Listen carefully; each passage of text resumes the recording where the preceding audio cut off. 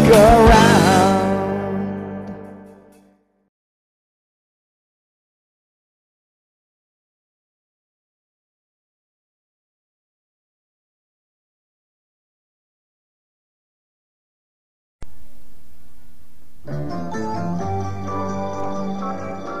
That's going to do it for this Wednesday evening.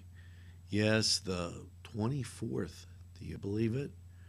Of the glorious month of August. And um, here's hoping you have a pleasant evening. Make sure that while you're having that pie and coffee, sitting around talking with friends, that you tell them about NCTV 45. They'll be glad you did. And make sure of this that you have a super evening in what I call the greatest castle in the world in the county of Lawrence. Enjoy our programming. Our fantasy football show is up tonight, so uh, it's an inaugural stage. So check it out in the Cedar Sports Have a great evening. And the stars above the ocean.